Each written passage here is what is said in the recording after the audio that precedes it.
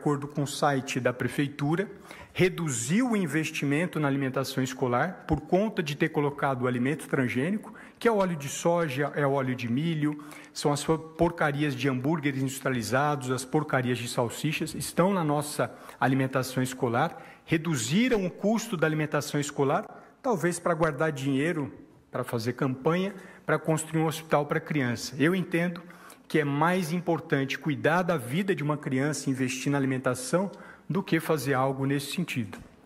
Então, quero muito fortalecer de que esse apelo fica aqui direcionado ao prefeito para que ele elimine de uma vez por todas o alimento transgênico. Chega de alimento transgênico na escola.